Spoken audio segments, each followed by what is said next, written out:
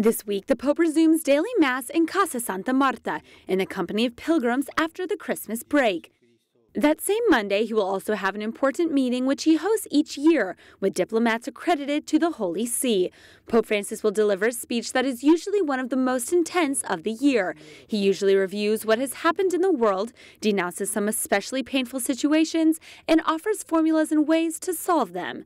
On Wednesday, he will once again greet thousands of pilgrims at the general audience in Paul VI Audience Hall. He will continue with his cycle of catechesis on hope. On Sunday, he will pray the Angelus from the window of his study in the Apostolic Palace, with people arriving to Rome from all over the world.